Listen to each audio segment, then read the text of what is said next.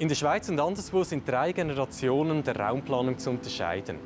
In der ersten Generation ab den 1960er Jahren war das Motto Nutzungen zu trennen und zu planen mittels Verhältnisziffern.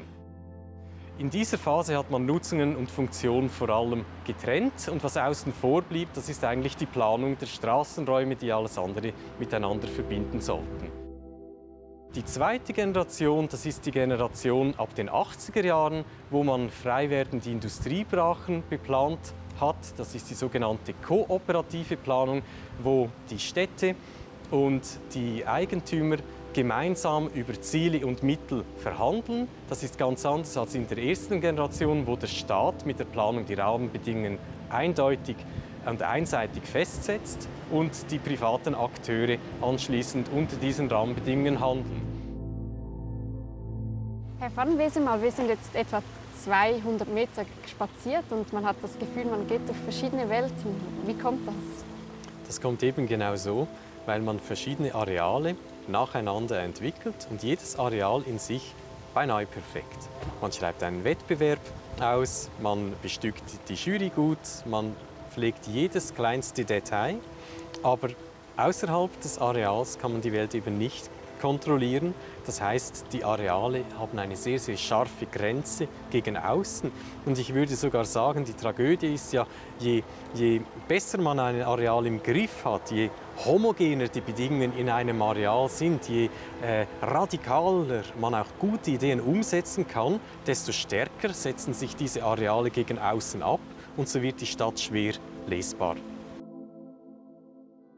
Wenn wir das etwas einordnen, wir sind quasi in Manhattan äh, gestartet. Gleich neben Manhattan gibt es dann den Parkhausgrill. Dann haben wir uns über eine Vorstadtsituation äh, und ein Agglomerationsbauprojekt mit Lochfassade etwas nichtssagend bewegt und befinden uns jetzt hier eigentlich im simulierten Mittelalter. Wir finden eine Abfolge von Plätzen, wir haben überall äh, kleine Querbezüge, die Häuser sehen alle anders aus individuell.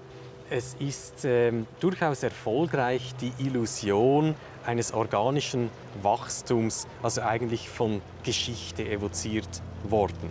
Durchaus auch eine gelungene äh, Geschichte. Wir werden nachher aber sehen, es steht auch auf diesem Areal drauf, wie es heißt. Es gibt ein Plakat, Hunziker Areal, und es gibt eine gelbe Linie, wo privat drauf steht. Wenn man drüber geht, ist man drin oder eben draußen. Die dritte Generation, das ist die Phase, wo wir jetzt sind, die Phase der Transformation. Innenentwicklung vor Außenentwicklung ist heute das Motto. Das heißt, dass man dort bauen und nachverdichten muss, wo schon etwas ist, wo gewohnt wird, wo gearbeitet wird. Entsprechend geht uns Planung noch mehr als für alle etwas an.